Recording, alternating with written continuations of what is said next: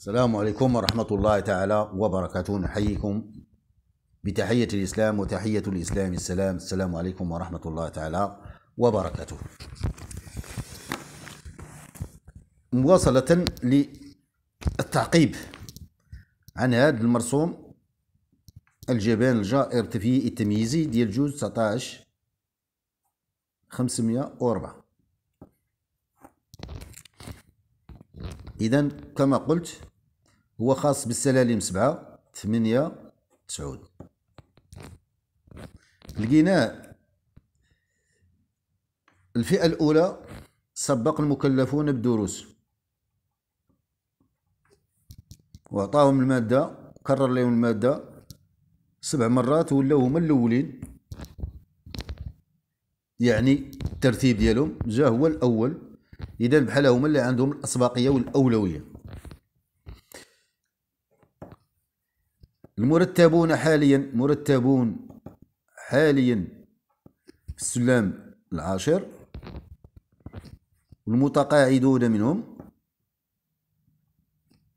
في السلم العاشر جاو في المرتبة الثانية وعطاوهم المادة 115 مكرر ثمان مرات. إذا جاو في المرتبة الثانية. المرتبة الثالثة جابوا 4600 اللي قالوا بأنهم ضحايا الزنزانة. تسعود. في حين أنهم تعينوا متخرجين خريجي السلم التاسع في 2000 الافواج ديال 2012 و 2013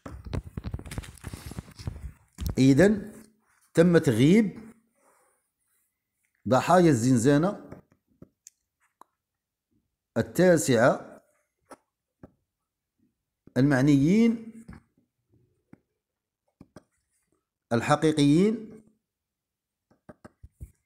بالاعتراف بالمظلومية ديال ضحايا النظامية.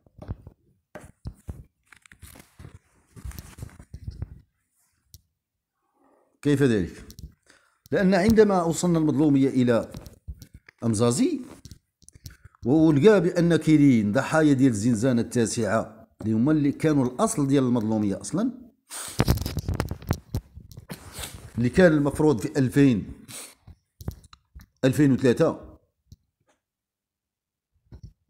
2004 2005 اللي تقاعد منهم. اللي تقاعدوا في هذه السنوات كانت ترقية استثنائية بالمادة 112 اشترى بالقاعدة ديال 15 أقدمية عامة ست سنوات فقط في السلام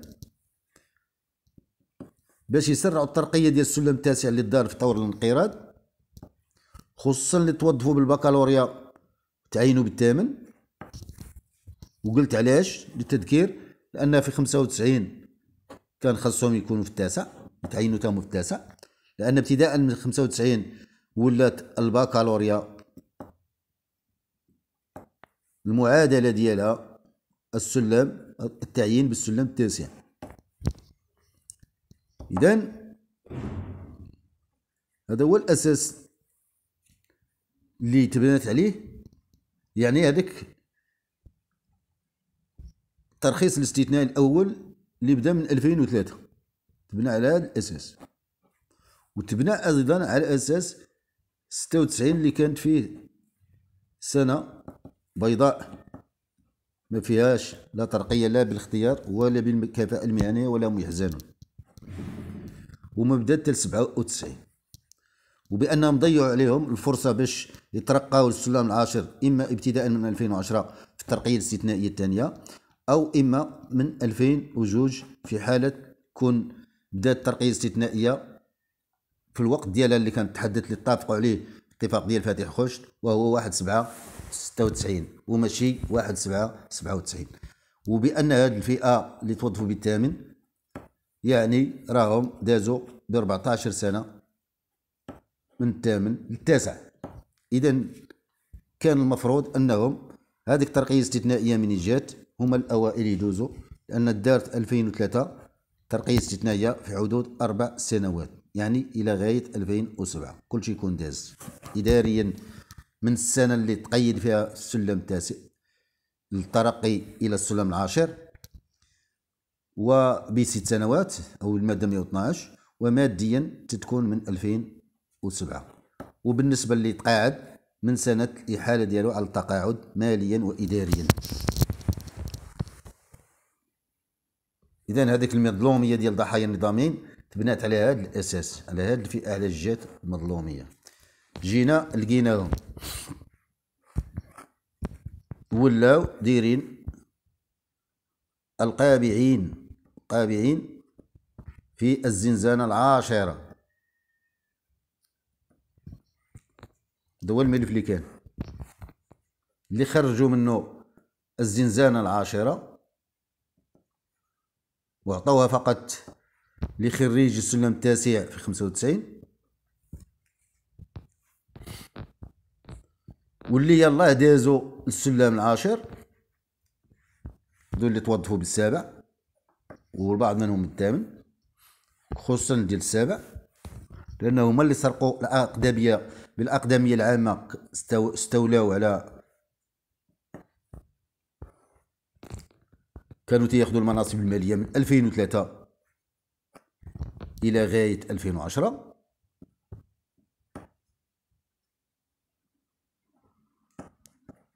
خداو المناصب المالية بالأقدمية العامة وبالتالي في 2012 من تحط الملف أغلبية ديالهم مرقيين ثلاثة المرات ولا أربعة المرات بالاختيار. وكاين في الوقت اللي تيقول لك الترقية بالاختيار خلال المسار المهني ما يمكنش خاصها ما تكونش ما تفوتش جوج ترقيات خلال المسار المهني ديالك. تلقاوهم في 2012 هادو كلهم الاغلبيه ديالهم خصوصا اللي توظف بالسابع اللي توظفوا بالسابع. تنهضروا على اللي توظفوا بالسابع اللي تخرجوا بالسابع. كلهم دايزين أكثر من ثلاثة المرات وأربعة المرات. وعاود عطاوهم أربعة وكاين اللي عطاو خمسة. هذيك المرتبون في السلم العاشر كانت تخص اللي تعين بالثامن خريج يكون خرج من من من CFI CFI centre formation des instituteurs ضروري كان خاصو يكون مخرج منه.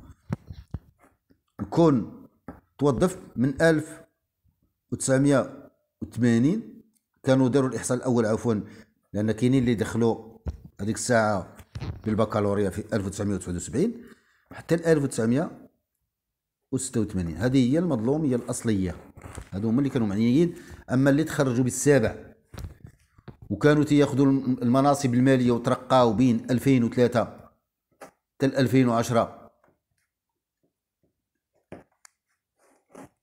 يلا دازوا إلى السلم العاشر وخداو المناصب المالية بالأقدمية العامة وتقاعدوا من بعد 2012 لأقدم واحد فيهم يلا داز في, في 2006 السلم العاشر ولا اللي تقاعدوا بعد 2016 لأقدم واحد فيهم يلا داز في 2010 السلم العاشر وبالأقدمية العامة وغسارق مناصب مالية. إذا التحريف ديال ديال هذيك المظلومية المرتبون حاليا كانت تخص فقط الأولوية تتعطى فقط لصحاب التامين اللي تعينوا بالتامين وكانوا صحاب البكالوريا.